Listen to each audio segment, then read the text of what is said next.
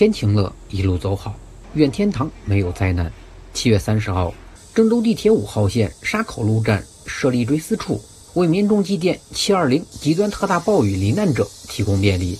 前来悼念的人们手捧鲜花，卡片上写满祈福。七月中旬，河南多地遭遇极端强降雨，造成重大灾情，至今已有近百人遇难。省会郑州更是在七月二十号遭遇极端特大暴雨，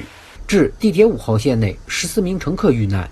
三十号下午，郑州骄阳四火，位于地铁五号线沙口路附近一处工厂院内新设的追思处，入口桌子摆满了供免费取用的黄色和白色菊花。追思处布置有鲜花台，背景写着“祈福逝者”四字，台下布满了鲜花、饮品、食物等。有的市民独自前来，有的结伴而行，有两名斑白的老者，也有家长带着孩子前来献花悼念。这些花是你交我你不是都是免费的，口罩你你们需要我我我我我我我们可可以送给你们。除了到场缅怀，还有许多人通过外卖小哥和跑腿小哥送来鲜花。就是由我们过来送，给你们送的啊。嗯，您这几天送了大概有多少单呢？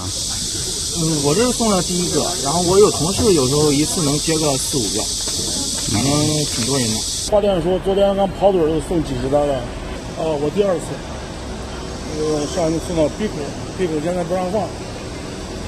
就是送这儿，像接到这种送送花的这种单，肯定第一时间送完，两眼发酸。